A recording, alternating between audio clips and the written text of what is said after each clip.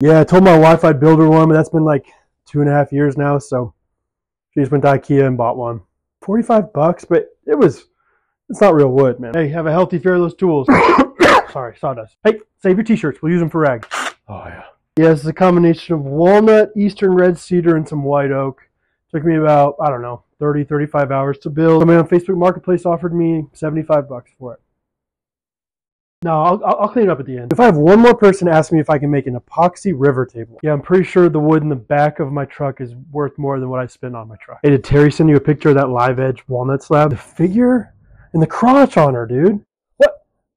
No, no, we're talking about wood, sweetie. Wood, sweetie. Wood. Anybody else tired of hairpin legs? I don't care what they say. Using a Kreg jig for woodworking is cheating.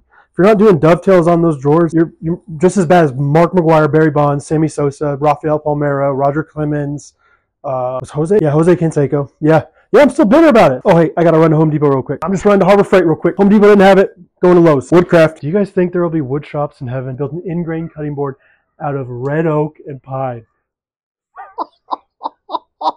Seriously, has anybody seen my tape measure? Dude, Al Borland, ahead of his time. Yeah. I don't think so, Tim. Gosh, I just wish I had some Festool. Hey, you see my tape measure? Hey, you see my pencil? Hey, you see my safety glass? I just had a nicer table saw. I just had a little more space. What kind of table saw you got? Oh, be careful on the kickback on that one, I hear. Right? Yeah.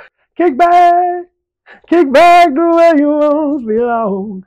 Kick back, Loretta. Gosh, if I could just have some better dust collection. No, it's not sawdust, it's man glitter. Gosh, I want to build a boat. But no, I didn't read the directions. I'll be all right though. Hey, what are you doing? Don't throw that away. No.